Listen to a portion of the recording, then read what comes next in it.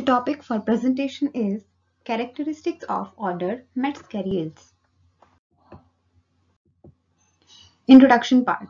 The systematic position of this order of bryophytes according to Schuster 1953 and 58 Kingdom is Plantae, Division Bryophyta, Class Hepaticopsida, Subclass Jungermanni and Order Metzgeriales. It has about 25 genera and 600 species.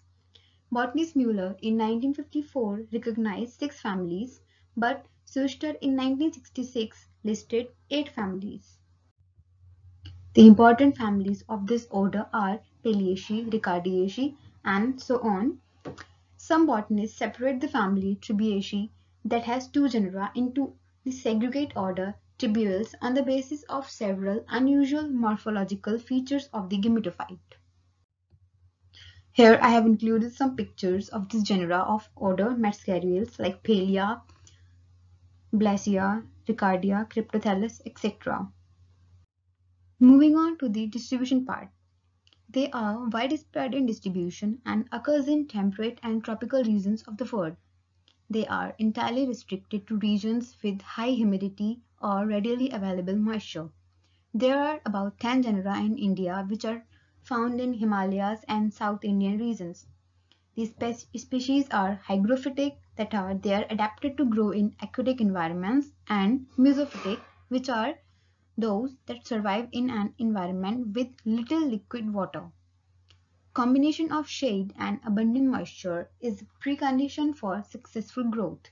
They grow on damp soil, moist rocks, and bark of trees. The oldest fossil is Pallavicinites devonicus from Upper Devonian rocks. The characteristic features of this order. The thallus is of diversified form. The first one is thalloid form that shows wavy margin and dichotomous branching. Example, Pellia, Riccardia, Pallavicinia. The second one is leafy form in which the gametophyte is differentiated into stem and lateral leaves. The third one is transitional form which is intermediate between thallus and leafy forms and therefore the members of this order are commonly called multiform thallus These are simple thalloids and show a very little histological differentiation. Mostly gametophytes are without internal differentiation of the tissues, but certain genera have central strand of thick-walled cells. The ventral surface of this order bears smooth-walled rhizoids. The sex organs occur in single or group on the dorsal surface of the thallus or on short ventral side of the branches. The archegonia do not develop from apical cells. It arises from the young segments cut off by the apical cells and hence it is an anacrogynous. The thallus continues to grow. As a result, archegonia and sporophytes are dorsal in position. The capsule wall is 2 to 5 layers of cell thick capsule has elaters, comprises a much larger number of liverworts. Section through gametophyte showing the sex organs in Pellia. The archegonium, female sex organ, and antheridium, male sex organ, involucre, the protective covering, and the growing tip. Key anatomical features, they lack air chambers, they lack scales, Gametangia is sessile, that is no is there. The seta elevates capsule above the thallus. Upper epidermis has no air pores.